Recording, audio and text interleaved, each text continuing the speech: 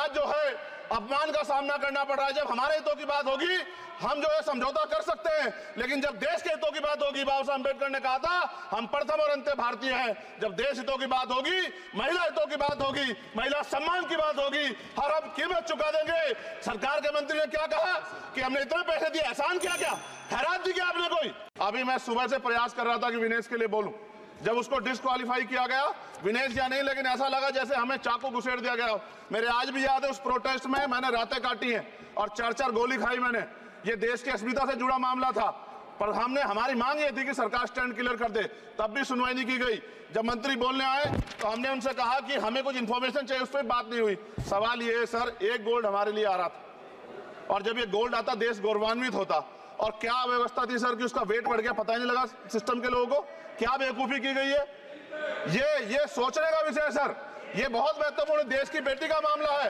ये हरियाणा की बेटी नहीं है, सर। वो एक जात की बेटी नहीं है। वो हमारी बहन है, देश की बेटी है। और आपने क्या किया हरियाणा के साथ? आपने हरियाणा का बजट कम किया, जबकि सबसे ज़्यादा मेडल हरियाणा लेके आता है। ये गलत है, सर। ये धोखा है।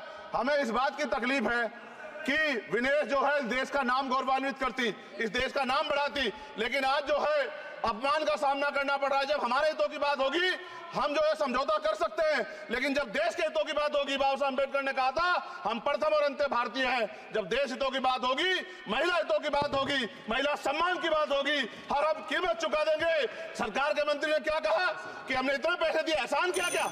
खैरात थी क्या आपने कोई? खत्म कर रहा हूँ सर। हैरान थी क्या आपने कोई?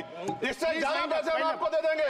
लेकिन आपको चाहिए था कि इस मामले को संभालते और देश का सम्मान बढ़ाते। आपने लापरवाही बरती इसका खामेजा में भुगतना पड़ा। मैं आपसे आग्रह करूँगा थैंक यू जब वो बेटी देश लौटे सर जब वो बेटी देश लौटे रुक जाओ। प्लीज़ माइंड अप प्लीज़ जब वो बेटी देश लौटे मैं आपसे आग्रह करूँगा कि स्पीकर सर यहाँ बुला के उसका सम्मान करें। हम सब लोग वो देश की बेटी है सर देश के लिए गोल्डन गर्ग है वो गल है वो। उसका सम्मान यहाँ किया जाए सर हमें चाहते हैं। बहुत बहुत धन्यवाद आपने बात रखना मौका दिया। महिला विरोधी चुप रहे। थैंक यू थैंक यू कोई महिला विरोधी नहीं बोलेगा बीच में।